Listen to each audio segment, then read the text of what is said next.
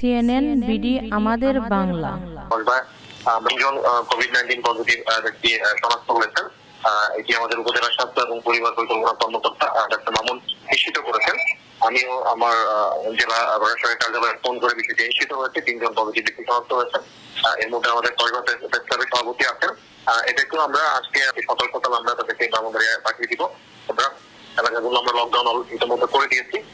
আজকে পর্যন্ত দশটা রুগী পেলাম আগে সাতটা ছিল গতকাল তিনটা।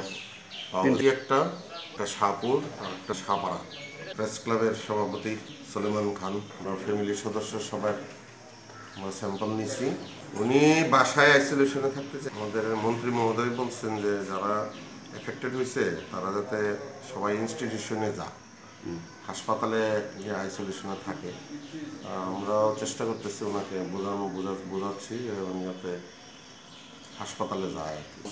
ওনারা সাংবাদিক এবং ওনাদের নিজেদের সেফটির জন্য, ওনাদের পরিবারের সেফটির জন্য এবং আশেপাশের সম- সমাজের সেফটির জন্য আমি ওনাদেরকে অনুরোধ করব। ওনার সাথে যেহেতু ইন্টিমেটলি উঠা বসা করছেন, মেলামেশা করছেন, ওনারা এসে যাতে আমাদের হসপিটালে এসে যাতে স্যাম্পলটা দিয়ে যান।